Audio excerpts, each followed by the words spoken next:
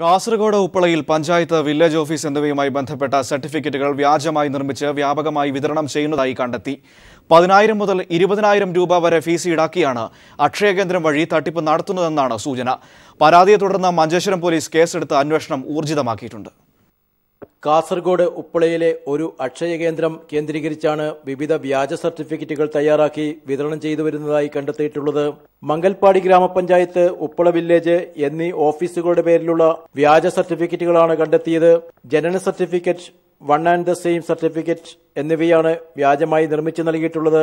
നേരത്തെ അനുവദിച്ച സർട്ടിഫിക്കറ്റിന്റെ നമ്പറിൽ തന്നെ മറ്റൊരാളുടെ കൂടി പുതിയ സർട്ടിഫിക്കറ്റ് അനുവദിച്ചുകൊണ്ടുള്ള തട്ടിപ്പാണ് ഏറെയും ഇതിനു പിന്നിൽ രാഷ്ട്രീയ സ്വാധീനമുള്ള തട്ടിപ്പ് സംഘം പ്രവർത്തിക്കുന്നതായാണ് ആരോപണം.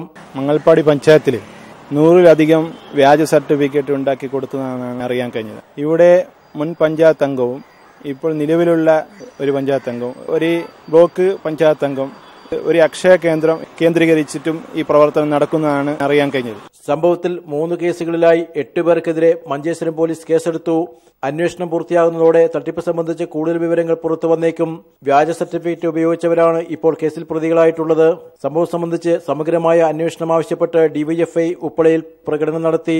ഗുണ്ടാക്രമണങ്ങൾ കൊണ്ട് കുപ്രസിദ്ധമായ ഉപ്പളയിലും മംഗൽപാടിയിലും ഇപ്പോൾ വ്യാജ സർട്ടിഫിക്കറ്റുകളും യഥേഷ്ടം ലഭിക്കുകയാണ്. ക്യാമറാമാൻ ഷൈജു ബിലാത്രയ്ക്കൊപ്പം സണ്ണി ജോസഫ്.